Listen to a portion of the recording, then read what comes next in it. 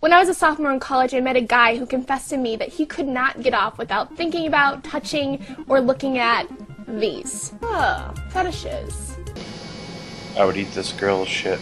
Stopped at a gas station in a hotel, pulled down her pants, told me to open my mouth, Hello, all of my fucking whores that like to watch me puff dropped in a couple of few. on a big stogie. My lungs filled with Hello. her methane as I sucked out fart after fart.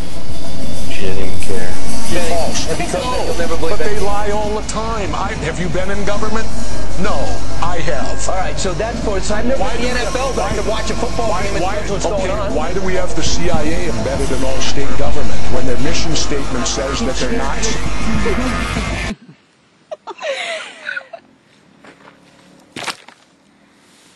Why don't you two girls squeal for me like little piggies?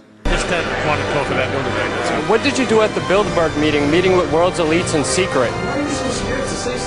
Yeah, I'll check you So out. uh, he kind of went along with it for a while, and finally asked, "Well, you know, what's what's the game plan? What are you guys after?" And uh, according to Russo, uh, Nicholas Rockefeller told him, "Well, we want to microchip the population and, and let the rich people control the world. That's it. That's exactly what's going on. But people can't see it because they're caught in the matrix, the electronic matrix that surrounds them 24/7." Hey, you look familiar. Oh, fetishes. I love. And your ears are just ringing like crazy. Right. But now, now let's get real here. What's put on? George W. Bush and Barry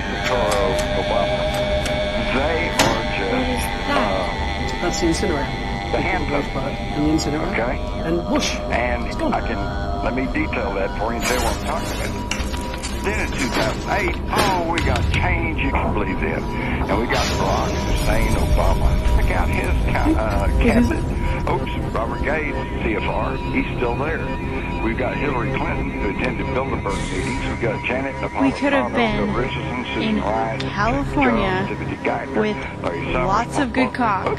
They're all ranking instead, of the Council of Foreign we're here in Relations. So, Alabama changed? because you Nothing. wanted All wine they did was tasting. change